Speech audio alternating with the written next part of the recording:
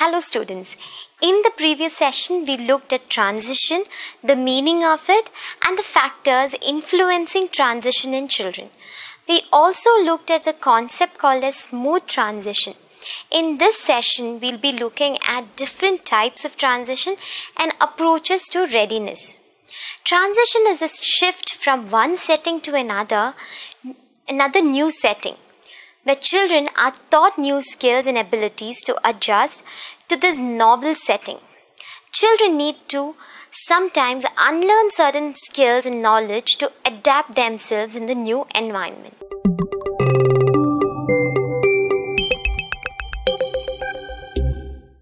Learning outcomes.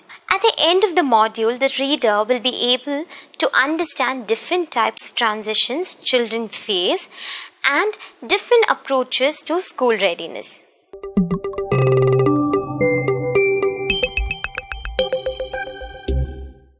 Transition was viewed as a matter of child's academic and social preparedness for smooth change from home to preschool.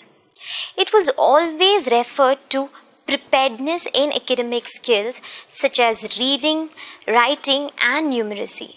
But now, the concept of transition is directly connected to the ecological theory and considers not only the school setting but also interconnected context in which children are involved. The ecological theory has revealed a multi-dimensional view where mutual preparedness of children, school, parents and community are the key factors for successful transition of children.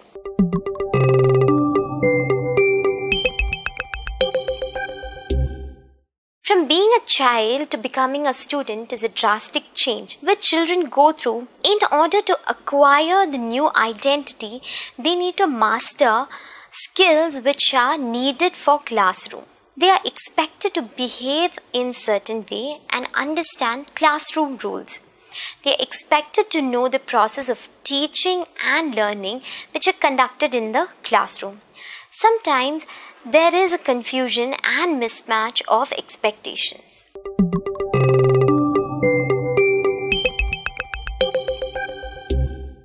In preschool, children have to transit from one room to another and from one concept to another. The importance of moving from one room to another for, for a child can often be unnoticed as they are in the service. Moving from one room to another can be challenging for children as the flow of the day, facilitator, and the expectations will be different according to the environment. This can be overwhelming for a child. In preschool, children are taught different concepts during the co working hours. The transitions within the class hours can be considered as a minor one but it still has a potential to cause stress in children. Children's individual needs must be met and should be helped to successfully transit from one concept to another. For example, a child with learning difficulty may need a different cue to transit from one activity to another, like the educator can use songs, verbal, non-verbal sensory and visual cues to help transit smoothly.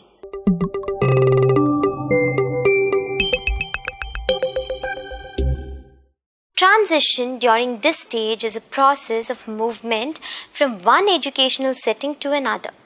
During this phase, there is a change in the environmental setting, facilitator, curriculum, timing, philosophy, etc.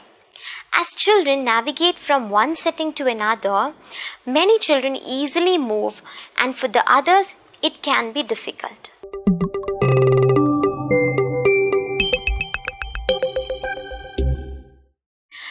School readiness is a main component in the process of transition. School readiness has many facets and is interpreted differently in different contexts.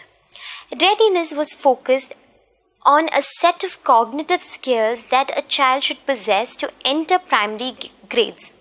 However, nowadays school readiness is concern, considered in terms of certain abilities, skills, and behaviors that will indicate children's preparedness to formal schooling. It is described in three major approaches. Maturational approach. Maturational approach is according to the maturational theory which suggests children are ready to start school when they reach a level of maturity. This allows them to cope with school system. According to this approach, development is only marginally influenced by external factors and children will be able to eventually perform tasks needed at school. Integrationist approach. This approach emphasizes in the concept of holistic and integrated development. It is not defined in terms of functioning in one area of development, rather, having a set of skills and behaviors across different domains of development. This approach is focused on the experiences that the child possesses. Interactional approach. This approach incorporates child's overall development and environmental effects. It is a comprehensive approach.